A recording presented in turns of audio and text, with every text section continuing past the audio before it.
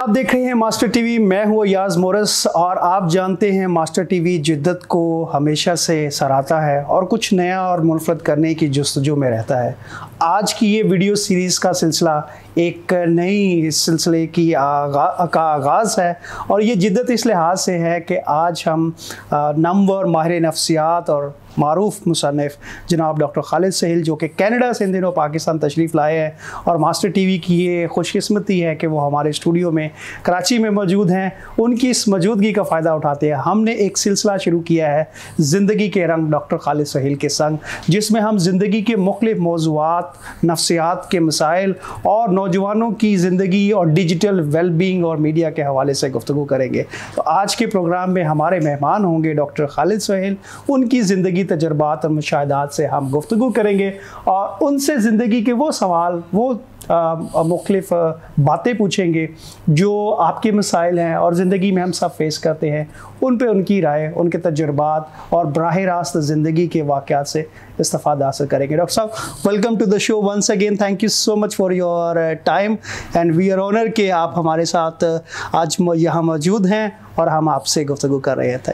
अंग्रेज़ी में एक जुमला है फीलिंग्स आर म्यूचुअल तो मुझे भी आपसे मिलकर इतनी दूर से अगर उतनी खुशी हुई इतनी शायद आपको है तो हम दोनों इस एक नए जो तख्लीकी जो मुकालमा है, उसमें हम शामिल हो रहे हैं तो मेरे लिए भी बहुत फ़ख्र की और खुशी की बात बिल्कुल, ये सिलसिला जो हमने ज़िंदगी के रंग जो है वो डॉक्टर खालिद सहेल के संग, इसमें हम मुख्तलिफ़ आपसे सवाल पूछेंगे, बहुत सारे हमारे कायरीन के सवाल हैं, और बहुत सारे बहुत जो हमारे देखने वाले हैं, उनके भी सवाल हैं तो वो हम आपसे पूछेंगे। आप, क्योंकि कई किताबों के मुसनफ़ हैं मुख्त मौजूद पर लिखते हैं, इंसान और इंसानियत और नफ्सियात आपका मौजू रहा है, अदब और इसके लिहाज से भी आप लिखते हैं।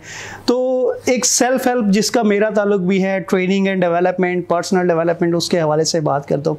तो मुझे ये बताइएगा बतौर माहिर नफ्सियात और फिर ये जो इंसानों को अपलिफ्ट करने का, उनकी ज़िंदगी में जो पॉजिटिव साइकोलॉजी से हम कहते हैं, उसका आगाज़ मेरी ज़िंदगी का अगर मैं बताऊँ तो डेल कारंगी से हुआ। आपका कैसे हुआ? आपने जो नाम लिया है डेल कार्नेगी ये मेरी तख्लीकी ज़िंदगी में एक अहम नाम है। तो मैं आपको वो वाक्य बता देता हूँ जहाँ ये बात सुन। मैं ग्रेड एट या नाइन का स्टूडेंट था टीनेजर था।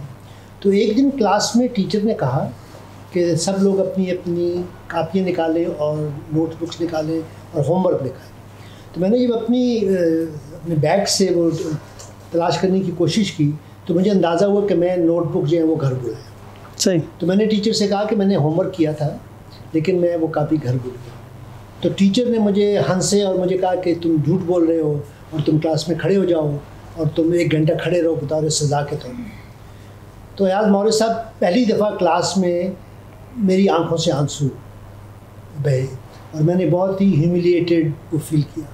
तो घर आके मैंने सोचा कि इस टीचर ने मेरी बात नहीं मानी उस टीचर ने मुझ पर शक किया।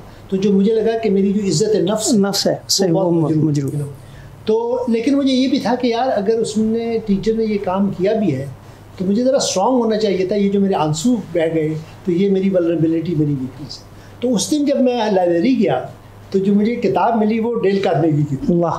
के और वो एक उनकी कई किताबें हैं। एक उनकी एक पत्नी दोस्त बनाओ और बिल्कुल। जी जी। तो वो मैं ले आया और तो ये भी मुझे अंदाज़ा हुआ कि वो ओरिजिनली तो अंग्रेज़ी में लिखी होगी किसी ने उसका तर्जमा किया था। तो सच्ची बात है वो किताब और फिर उनकी और किताबें पढ़कर मुझे ये एहसास हुआ कि ये जो आम फैम ज़बान में जो सेल्फ हेल्प प्रोग्राम है ये बहुत कारामद है बहुत कीमती है। उससे मैंने भी बहुत सीखा। तो ग्रेजुअली जब मैं ख़ुद सकाइट्रिस्ट बना और जब मैंने खुद अपनी किताबें लिखनी शुरू की तो हमेशा डेल करने की मेरे लाशुर में रहा, रहा। कि चीज़ों को आम फहम ज़बान में लिखें लोगों को समझाएँ लोगों को मसाइल से आगाह करें और उनको किसी हवाले से हिम्मत दिलाएँ कि वो अपने मसले खुद हल कर सकते, हल कर सकते हैं। और उनके लिए कुछ अपनी ज़िंदगी को बेहतर बना सकते हैं। तो इस वजह से डेल कार्नेगी का मेरे दिल में उनकी बहुत कदर है। बिल्कुल सही। अच्छा ये बड़ी मज़े की बात है। मैं भी कुछ ज़िंदगी में स्ट्रगल कर रहा था और 2004 या पाँच की बात है। पाँच की आई थिंक तो I was in first year second year तो मुझे ये किताब उनकी पहली परेशान होना छोड़िए हाँ। जीना सीखिए। पाँच रुपए में मिली थी। एक जो कबाड़ वाला है वो बेच रहा था और मैंने वो किताब देखी और वो पड़ी और मुझे वो ज़िंदगी में कहीं ना कहीं जब भी मैंने उस वक्त तो शायद मुझे अंदाज़ा नहीं था कि ये मैं ट्रेनिंग एंड सेल्फ हेल्प की तरफ़ आऊँगा, लेकिन वो मेरे भी लाशौर में है और मेरी तख्लीक में, तहरीरों में वो कहीं ना कहीं रहती है। अच्छा क्योंकि मैं तो एक ट्रेनर और एक पब्लिक स्पीकर होते हुए इस इस चीज़ को सेल्फ हेल्प को प्रमोट करता हूँ। लेकिन आप बतौर माहिर नफ्सियात सेल्फ हेल्प के लिटरेचर को और ख़ास तौर पे ये जो मोटिवेशन है पॉजिटिव साइकोलॉजी इसको कैसे देखते हैं हम? और बिलखसूस पाकिस्तानी माशरे को मद्देनज़र रखते हुए। जी जी। मैं याज मौर्य साहब जो नफसियाती मसाइल के लोग हैं ना सही। तो आ, वो थेरेपिस्ट के पास आएँगे तो कहेंगे कि मुझे ये मसला है तो आप उसे कहेंगे कि ये किस वजह से है तो वो नहीं जानते। आप उसके लिए क्या कर सकते हैं नहीं जानते। और आपको तो पता है कि यहाँ पर चूँकि इल्म की कमी है तो बहुत से जो नफसियाती मसाइल वाले हैं ना वो ये पीरों फ़कीरों के पास चले जाते हैं। वो गंडा तावीज़ करते हैं वो कहते हैं जी उसमें जिन आ गया इस तरह की चीज़ें।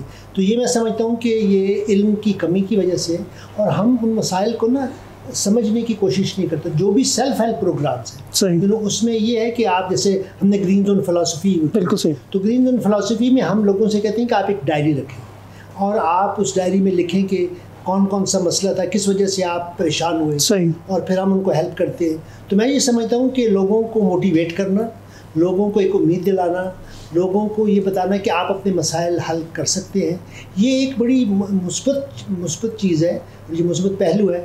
ये अलहदा बात के बाद लोग इतना नहीं जानते और वो मिस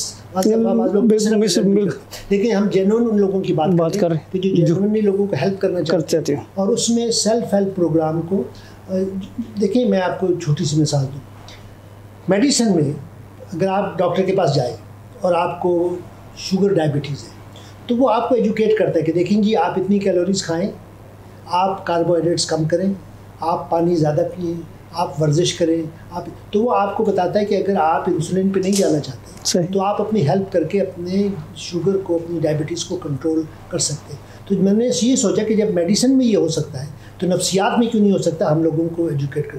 तो मैं सेल्फ हेल्प प्रोग्राम्स को लोगों को एजुकेट करने को लोगों को अवेयर करने को और ख़ासकर पाकिस्तान जैसे माशरे में जहाँ पे इल्म की या जो चीज़ों को समझने की और साइंटिफिक सोच जो है ना हमारे यहाँ जिसको हम कहते हैं कि एक वो मैजिकल थिंकिंग है कि आप ये करें तो ये मसला हल हो जाएगा ये करें तो ये मसला हल हो जाएगा। उस मसले को समझने की कोशिश कोशिश करनी। और उस मसले को हल करने की कोशिश। तो बहरहाल मेरा तो जो वोट है वो इन सेल्फ हेल्प और लोगों को एजुकेट करने के हक बिल्कुल सही। आ, हम इस प्रोग्राम को इस एपिसोड को वाइंड अप करेंगे लेकिन मैं पूछूँगा कहाँ कि आप किस नज़र से देखते हैं डेल का, कार्नेगी के काम को? और वैसा लगता है जैसे एक माहिर नफ्सियात दूसरे माहिर को बात, कर, बात कर रहा है। एक स्पेशलिस्ट तो मैं समझ अच्छा दूसरी बात यह है कि डेल कार्नेगी जो है ना वो एक स्टोरी टेलर भी है। बिल्कुल सही सिर्फ़ आइडियाज़ नहीं दे रहे वो आपको बताएँगे। जैसे एक उन्होंने लिखा कि एक नौजवान था वो किसी पार्टी में गया और वो सारी पार्टी में ये कॉन्शियस रहा कि उसकी टाई के ऊपर एक स्याही का डब्बा डब्बा था।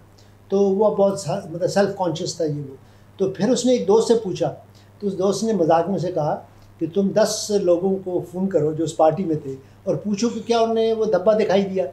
तो उसने जब फ़ोन किया तो उन दस में से सात को ये भी नहीं पता था कि तुमने टाई को पहनी है कि तो इस तरह के वो जो एनेक्डोटल जिसको हम कहते हैं सही। अगरचे वो इतनी साइंटिफिकली एकेडमिकली सॉलिड ना भी हो लेकिन लोगों को समझाने के लिए ऐसी एक कहानी सुनाना। तो मैं अपने कालमों में भी कुछ एनेक्डोट्स लिखता हूँ ताकि लोगों को समझे। बहुत शुक्रिया, डॉक्टर साहब।